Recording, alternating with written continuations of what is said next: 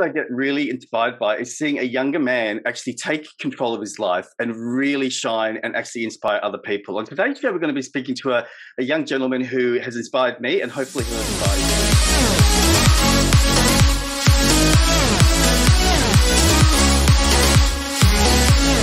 Hi, this is Joey Bartatul, and welcome to the Secret Men's Business Podcast. On today's show, we're going to be speaking to Cam Rosin, and he's going to be telling us a little bit about his story, his life, and how he finds inspiration and hope within himself and how he can inspire others. Cam, the man, how are you? I'm very well, Joey. Good to see you.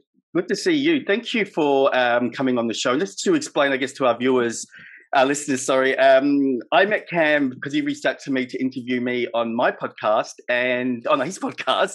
And now I thought, you know what? He really inspired me with his story, and I um, wanted you guys to listen to his story. So before we start, Cam, do you want to, I guess, tell the listeners a little bit about about yourself? Uh, where do I start? I mean, it's not very. Where you're from and all that stuff. I'm from the United States originally, Montana, um, a little town called Red Lodge, which is at the uh, foothills of the Beartooth Mountains, and grew up with an Aussie mom, American dad, and then eventually they decided that Australia would be a good opportunity for maybe living in a uh, harmonious society. Not that Montana wasn't harmonious, but education, opportunity. Uh, this is a good place to be. So we, we made the move. It was supposed to be a couple years. Uh, ended up staying. What this is year number thirteen now. Wow. And what do you? Can I ask you? Like, I always find it fascinating how, firstly, the difference between America and Australia, but then secondly, do you know why your parents chose Melbourne? Was it because when your Melbourne parent or your Aussie parent lived in Melbourne? Yep. So mum mum grew up in Camberwell. Right. Okay. And so, what? How do you see? What do you see are the main differences between the two countries? I mean, coming from Montana, it's not a easy place to generalize as you know what the rest of the United States is. We're mm-hmm. very isolated. We're very small town, um, very very communal. So it's not at all related to what it's like to be in LA or New York or Chicago. So mm. all I can say about Montana really is that they're despite what people see on the media, it is it's not the kind of chaos that we might think it is. It's well, like the, you're talking about like in the bigger cities. Yeah, exactly right. You know, and yeah, bigger cities, it's not the same kind of chaos. Um, course, we have we have sensationalist media, and it paints a certain way, and you're not going to be able to tap into the algorithms of these small town people doing beautiful things. And it's uh, you know, where we're from in Montana, it's nature is everything to those. Mm. I was going to actually say that, like uh, that last statement you made, I think it's so true. You don't really know until you go there. Do you know what I mean? Like I remember going from San Francisco I think I went to Lake Tahoe, yeah. And so we had to go all through these towns. And you're right, it's totally different to what you expect or what you see in the bigger cities. Um, so for you, um, tell us what it was like living in that small town and what how you perceived, I guess, your own personal growth by being there. I mean, it was a beautiful place to grow up. Um, you know, in terms of how, as far as childhoods go, I, I had an amazing childhood. Um, we were kind of a different family in terms of uh, it's a very religious place to be. Uh, mm. United States is a very religious place to be, but also the the more isolated, the more rural you get, um, the bigger role religion plays in those communities. And so we had a town of 2,500 people. In that town, we had nine bars and 12 churches. And so there's almost a church for every person. Yeah. being one of the few people that I knew of that were not religious, um, there were some uh, not points of conflict, but points of questioning there. I think because um, when you're when you're raised in a family that teaches you to question everything, you begin questioning everything, and then mm. you're questioning uh, things that other people just consider as as true. Why why why bother questioning it? It is what it is. Mm. But, but why and how? And so that could lead to some contentious moments but overall a, a lot of learning um, hmm. so did so did the people because you were questioning everything did the people in the town look at you as if you were you know why aren't you conforming? Or did they did they bring up anything in regards to your way versus the religious way? Yes certainly. I mean i wanted to i wanted to be included um, and i remember i think it was third or fourth grade, I got invited to after school church camp. And I thought, all right, let's do it. You know, they always rave about it. All my friends are having fun. So we went and we had juice boxes and cookies on the playground. And I was like, this is the best. This is awesome. And then we sat down for the Bible reading. And I remember looking around going, this, this is strange. because if you've never been taught those mm. before and then they're reading it from a book, you go, hang on, is this always been like this? Is everybody just, it's okay with this?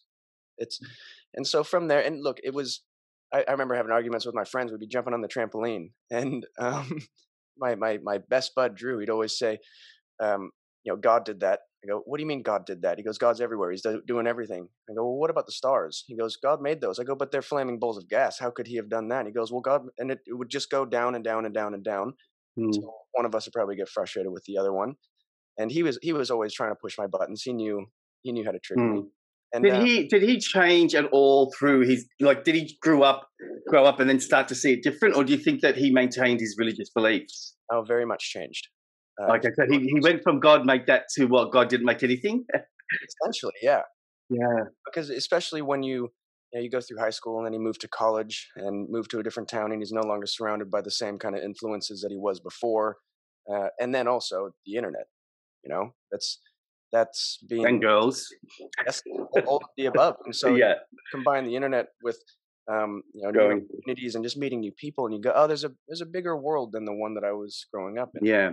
So how did you? Um, you were talking about being on the playground, which again, I totally get it. It's like you're like thrown into a foreign country in a way, wasn't it? So how did you, you know, get around it in your own head that you were living with these people that were very religious? That there was twelve churches in the town, um, and not you know get affected by that. You you know I wanted to I sort of want to explore how you um, have an individuality because that's what I was drawn to with you is that you're you know you're quite individual. You don't get, let other people influence you, and I wanted you to sort of share your story so others can maybe learn from you. So what did you do so you didn't get impacted or teased or affected by the norm of the town? Well, one one nice thing about Christianity and growing up in a small town with those kids is that they're parents instilled into them pretty good morals. So there wasn't really a lot of teasing. There wasn't any bullying because you were different. So you get some funny looks and you get some questioning looks from the parents when they go, "Hang on, Cameron's not Christian. He's not religious. Should we have him playing with our kids? He's going to infect our. he's going to he's going to infect them." but you know, as as a child, you're wandering through the world, piecing together your your your viewpoint from little bits of information you get here and there. And while we weren't religious, my mom certainly was is spiritual. Mm. So had you know little little Buddha statues growing up in the house, always doing incense. And so I, when I was, I'm not sure how old I was then, maybe five through ten, I thought I'm I'm a Buddhist, not having any idea what that meant. Mm. All I knew is there was something to do with reincarnation, and if you were bad, then you get reincarnated as a cockroach, and if you were good, you get reincarnated as a prince. And so I just thought that's that'll that'll suit me just fine. And so we still had, um, look, you just it was never an issue. It was always there were plenty of other things that were um, probably more difficult to wrap my head around. I mean, for one, um, this might be NSFW, but being cir- being not not being circumcised, mm. going to the pool one day and seeing all my buddies, I went, hey, hang on, what's what's what's going on here? What's different here?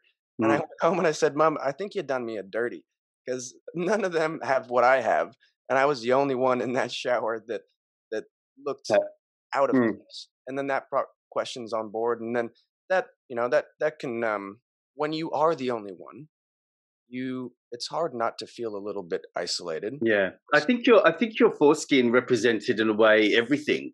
Yeah, about the you know that was a representation of everything that you that you were experiencing, which you know I mean, uh, can I? What was it like in the reverse? What did your friends think of your house? And your and your parents. like you know, if you, if you, had things that you hadn't been noticed, like aware of, then they must have always all come to us and gone, "Oh my god, this is what is this museum? What is this place?"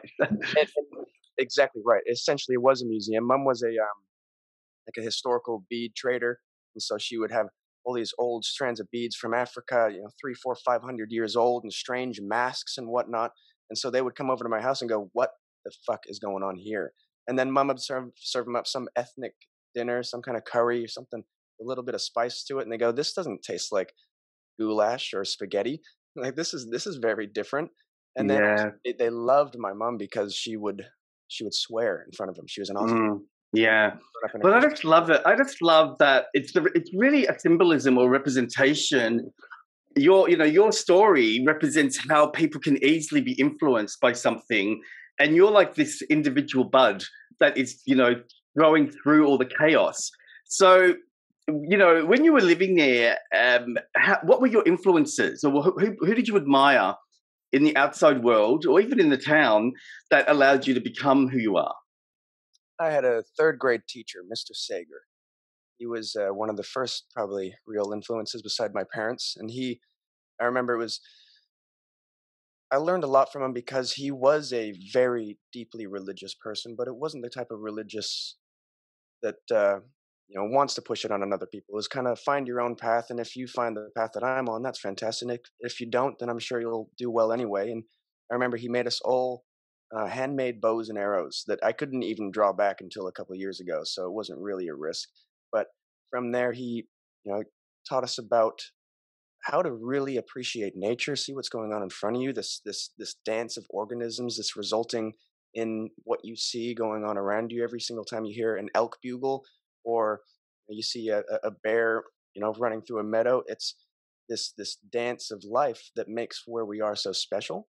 Mm. From there, and combined with my my dad's uh, job, which was a whitewater rafting company, nature and being outdoors was was everything. You know, we didn't have video games in Montana growing up. A couple of my friends did, but if you were not outside, then you weren't living. You weren't doing anything. Yeah, I mean, let's get. Uh, I'm going to definitely go look this up after I finish this conversation. But give us, is it like are we talking mountains and all beautiful? I mean, you know, when you're talking nature is everything.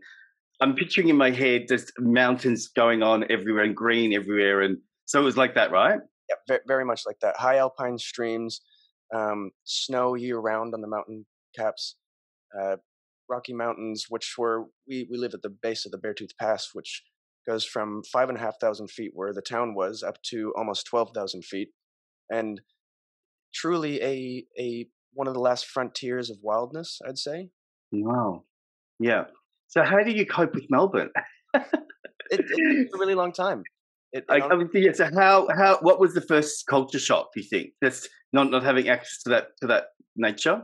yeah, being being starved of that because everything that I did, everything that I enjoyed, had something to do with the mountains, whether it was skiing or you know potentially dirt biking, whitewater kayaking, rafting, fly fishing, all of those things combined into you you attach those parts of you to your identity. And so when I came over here and all of those things were gone, it's it was kind of a a little identity crisis. And so yeah. you you start to develop maybe f- from the inside rather than the outside. That makes Well, sense. I'm guessing you've found ways to adapt because, like, I think last time I spoke to you, you were in, down the coast, right? So, is that where you are now, or are you in Melbourne now? Uh, I'm down in Barwon Head, so about 20 Right. Okay, so you've sort of found a sort of mini. I know it's not where you're from, but it's like a mini connection to some form of nature, I guess. And 100%. Uh, getting really into surfing was a complete game changer because I think that anytime that you can extract joy from your surroundings, it's it's going to give you a different level of attachment. And then from there, as you as I get slightly older and maybe slightly more mature, you begin to realize that as cliche as it is, happiness does come from within. So you need to be able to not rely on any extraneous influences in order to be happy because you don't know when you'll be able to do those things again. Like you don't know if once those things are taken away, whether it be because of moving to a different place or whether you go through an injury or something like that, if every single ounce of your enjoyment in life comes from an outside thing, then it's not a sustainable thing. It's not a Hmm. type of But listening, but listening to you, I sort of get this feeling that you are quite adaptable. Like again, I'm really impressed. Like, you know, you knew that you wanted something, you were craving something, and you hunted out and you found surfing.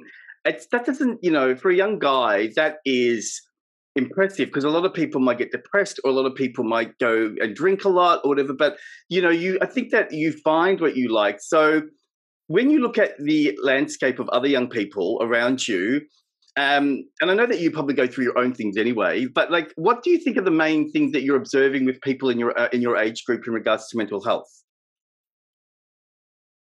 I think that, at least in my friendship group, it's almost like there are quite a few people that have been given all of these tools to interface with the world in an entirely different way.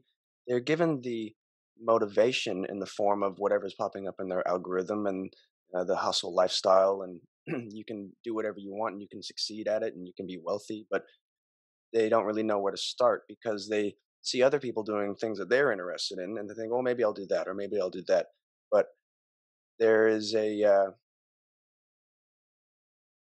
it's it's difficult because i'm coming from a privileged perspective when i'm i am deeply passionate about whatever i'm being involved in and I have somewhat of an ability to make things happen when i do get obsessed and so it's difficult to speak from the perspective of somebody that. Well, I guess. Well, do you want to share maybe? I mean, I know what you're saying. I mean, but I think that you know, I think everyone has choices. So you know, I think that's the reason why I wanted you to go on the show. I want to understand your process of choosing to go down the path of adapting rather than going down the path of being the victim or being not using your resources, right? Like, you know, you came from a small town, you had sort of stuff going on and you adapted to that and you were able to, you know, go to the after school thing and understand what your friends are doing. And you didn't, you know, you did that. So how did you do that? Or who taught you how to do that? So you would be able to feel privileged. I mean, well, the age of information, the, the digital age, being able to transport yourself through a podcast into somebody's conversation between two brilliant people from the age of 14, 15, that's a pretty incredible tool. That's, mm. a, that's a paradigm shifter for sure, because suddenly it's you're not just conversing with the people in your immediate family or your, your immediate friends. You are becoming involved in a you know two three hour conversation between intellectual people, learning new ideas, challenging your old beliefs, and and showing you that there are options and that as long as you it's it's it's a task of dedication yeah, well, you know, but again, um, I've got nieces and nephews, and none of them want to listen to podcasts. so you must have, you know, was that an influence because your mother was spiritual?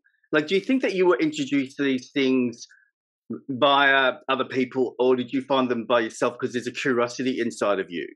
Um, well, the curiosity is always inside you, it's always inside me, but it's also uh, having the fortunate privilege to have been surrounded by people that see that curiosity and foster it and help it.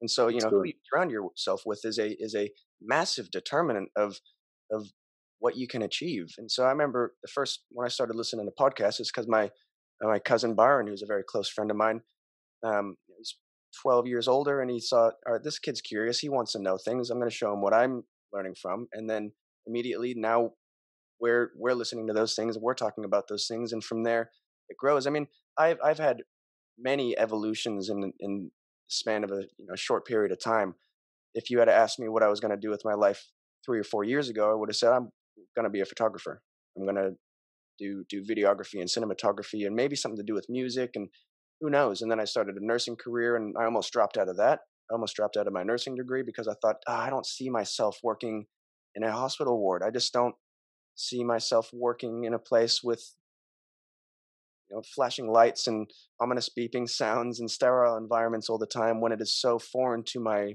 to my nature essentially. Mm-hmm. um, but then again i found enjoyment in that and i thought this is not a bad career. I can certainly enjoy this. And then through that look i'm not i'm not i'm not good at being stagnant um, there's a part of my nature i think that uh, I'm very dopamine fueled, which is you know the the the upside to dopamine dominance means that I really enjoy my work.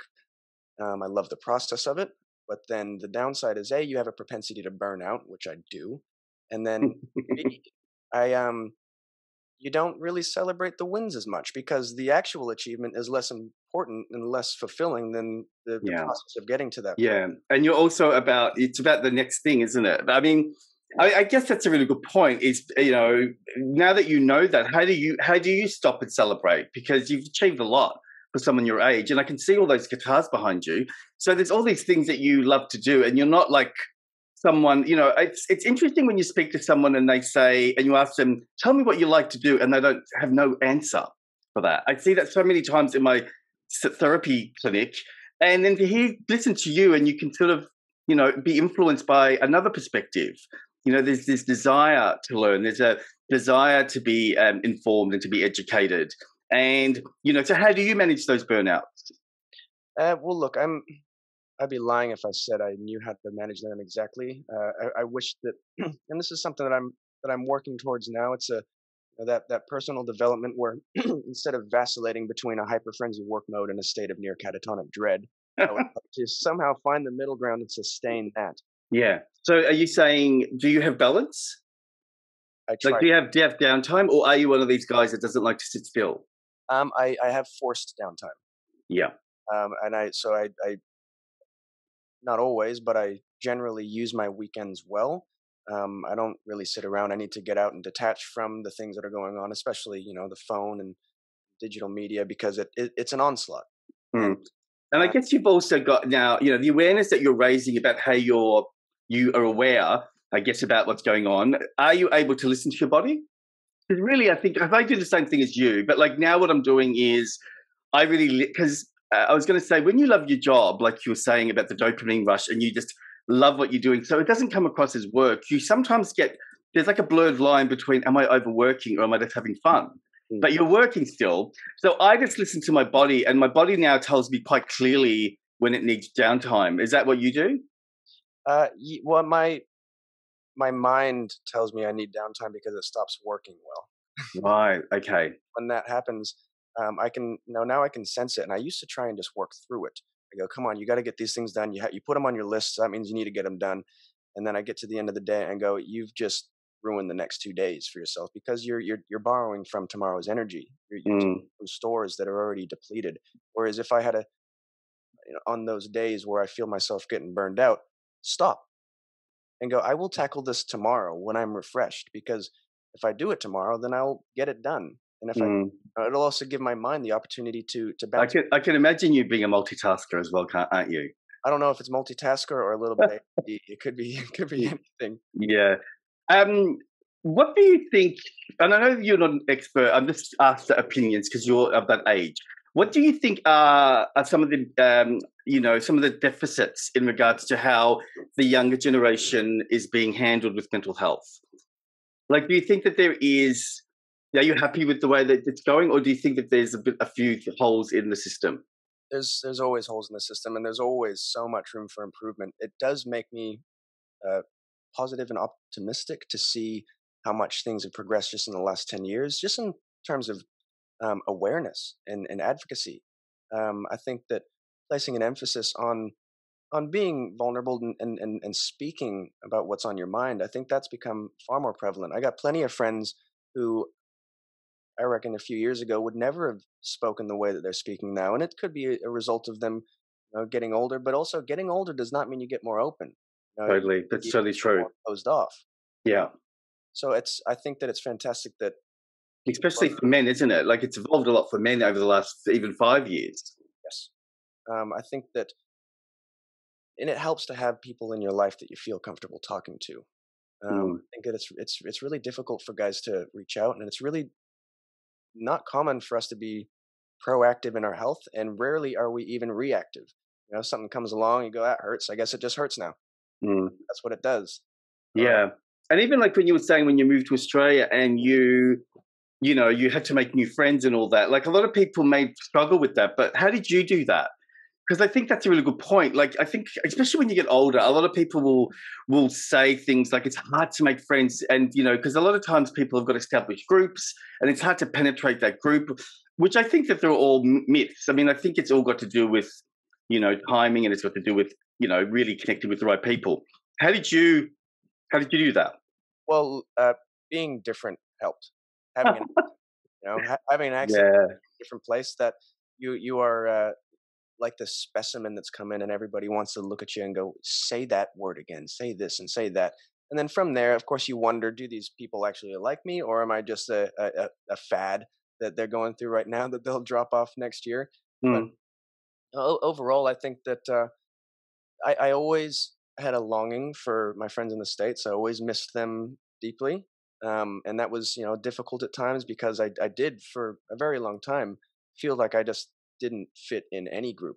I could I could social chameleon and I could mm. act like I fit in, um, but in the back of your head you're like you don't belong here. what do you think you're doing? They're gonna find out that you don't belong here too, and so through you know but through the previous years it's not about the, the quantity of the friends that you have and i'm very very thankful to have the, the group of friends that i do have uh, and group of mentors that i do have i'm not a party animal and i'm not super social either i'm very much a, homebody if you call me at 7.30 on a tuesday most likely i'm not going to answer you call me twice i'll pick up but overall i uh, i get my social energy from being alone and I mm. spend a certain amount of it before I need a bit of a reset. Yeah, and also I think you've got you know really if you look at your your schedule, you're doing a lot. You know, it's not as if you're you know you're surfing, you're doing all these things, and so I you know it's interesting talking to you because I feel a lot like you. Sometimes there are people that like get off by going being with people. So there's the social butterflies, which it's funny. I used to be that, but now I've sort of adapted and become more like you. I now get more joy out of projects and my own space and having a few friends. I don't need to know everyone, you know. So, um, can I ask you what is or what do you do as a self care process? Like, what's your daily routine, or you know, your routine in regards to clearing, grounding, connecting to yourself? I mean, I, despite a hectic schedule uh, and a lot of projects going on that that need to be managed with uh, you know time management.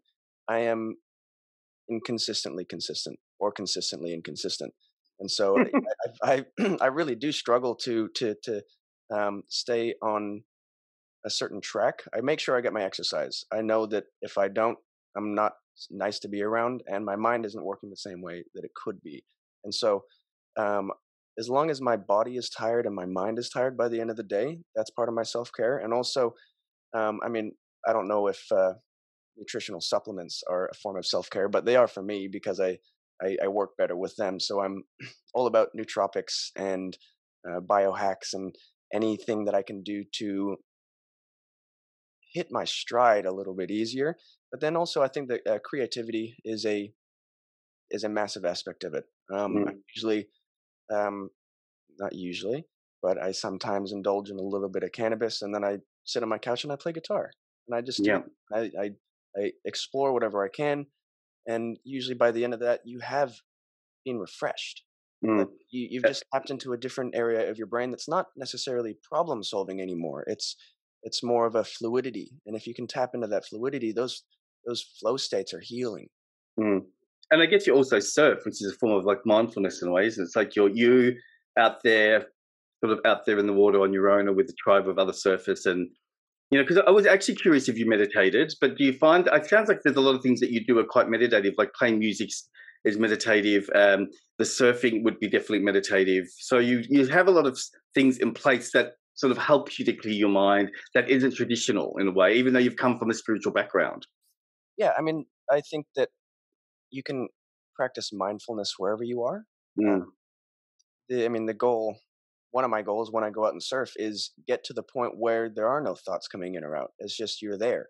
Mm. And it's it's easy to do when you get out back of the sets and it's a beautiful sunset and um, you're surrounded by people that are having fun and you're seeing smiles on their faces. That's that is something that instantly grounds you. It's mm-hmm. impossible to walk away from that in a bad mood. And yeah. so it, it is it's a psychological reset. It is the, a powerful grounding mechanism, but that can be achieved now however many ways. Mm. But energy is pretty amazing. I'm sorry if I keep I keep blowing your trumpet, but you know it's just it's just nice to meet someone that has got a really beautiful energy. And um, so what do you see as the the obstacles that are going to come up for people your age group or younger over the next, you know, 25 years? What are going to be some of the things that you guys have to face when you start to get older? Oh dear. I mean, it's it's just a, you know, I mean, like, because we all have this, this, I think, imagination that it's going to be all this sci-fi, you know, AIs everywhere. I mean, like, it may be, but I'm guessing, you know, I mean, like when I read articles about careers and how that, you know, AI is taking over and and all that. I mean, I'm I'm really very close to retirement, and I get nervous. So I, I wonder what it must be like to be younger and think about what that's going to look like for for them or for yourself. What do you do? You think about it at all? I do. I do think about. Uh, I try not to be an alarmist, um, but some of the people around me will know that I am. Um, really? Well, in, in, the sense that uh, there are things going on that nobody seems to know about or care about. You know, mm. and, that, and that concerns you, does it? It concerns me. Environmental issues are a massive concern to me. Oh, yeah, yeah, of course. I mean, I guess you've seen it and you've lived in it, so it would be overwhelming to imagine. Imagine where you've come from being uh, depleted. Yep. I mean, we our, our glaciers are gone. They're melted. Um, we used to have we, we have a national park in Montana called Glacier National Park, and it has no glaciers in it anymore. And that is just such a infinitesimal example of what's going on in the world. And um, industries like like the fishing industry. I'm not sure if you've watched Seaspiracy, but no, but I've actually I actually watched a, um, a Four Corners uh, a, a, like interview about fish, fishing, and I I was sort of blown away by how they're building all these fishing farms and how the pollution that's being developed. It's, yeah, it's just it just blows my head up. Yeah, and so look there, I I my my deep fears, um, which I don't think will be materialized. I hope they're not materialized only because I have the same kind of inherent faith in intelligent people and ingenuity and new ideas that hopefully somebody will come in um, hmm. for the final bell and they'll have this miraculous solution and that is a um, it's a coping mechanism of sorts because i can't be sitting here being scared about you know 30 40 50 years down the track when australia's burned to the ground and there's no fish left in the sea because that's no way to live and despite how chaotic things do feel if you go sit by the beach or sit by a river or go to a forest there's no chaos. There's no chaos at all and so you can find that peace wherever you are but in saying that water refugees you know things like that and then not even getting into the technological aspect of things i think that these obviously they're tools for good and they're tools for evil and they're tools for destruction and it depends on how you use that tool you can use a hammer to build a house or you can smash every finger in your hand if you're not careful so i think that um, connectivity is going to be an issue and i think it already is becoming an issue just people learning how to communicate with one another um, whether it be you know seeing somebody at a cafe and you want to ask them on a date do people have that confidence anymore? And if they don't have that confidence, then they don't have a confidence in. It's so funny, you know. I know people that have gone through that scenario, and rather than going and asking for a date, they go onto their Tinder to see if they're on there, and it's like, oh my god, you're sitting opposite them. Um, what technologies do you are you excited about? Like, you know what? I instantly feel that you're going to be one of those people that goes to Mars or goes to the moon or something. Like, uh, you know, what do you feel uh, is going to come our way that you're really looking forward to? Uh, well, I'll never go to Mars. I like Earth too much. It's beautiful here. But I, I'm almost, um, the technologies that I'm most excited for are the ones that are going to help us understand what's already happening here. Um, I think that uh, my my biggest form of excitement comes in the form of these future medicinal therapies, you know, in the forms of ancient molecules that have evolved over billions of years and being able to utilize those to um, influence meaningful health outcomes for people rather than just medicating them. I'd like to see a world where there is no palliative medication, meaning you get prescribed something and you're on that until you die. I would like to see us progress, and I think we will. It's inevitable that as as the regulatory and law frameworks of the world catch up to where society is, then we'll be in a wonderful place because society is always, you know, 20, 30, maybe 40 years ahead of the law. And when we get to that place where we're actually able to uh, commit to true autonomy and make decisions about our lives that don't impact others, and then through that, be able to make informed decisions about our health using these natural tools, then I think that that will be a pretty incredible leap in terms of broad health status, mindset, mental health, everything. And so those those technologies are amazing. I wouldn't mind trying out Elon Musk's Neuralink and uploading my consciousness to somewhere as long as I could pull it back. yeah, uh, it's, it is pretty scary. A little bit. It's a little bit scary, but it's also a little bit exciting to think you know, how, you know, I always think that only 10 years ago or so, we had the introduction of the iPhone, 15 years, whatever it is. And now it's like, you know, it seems like it was so far away, but it was just a blink.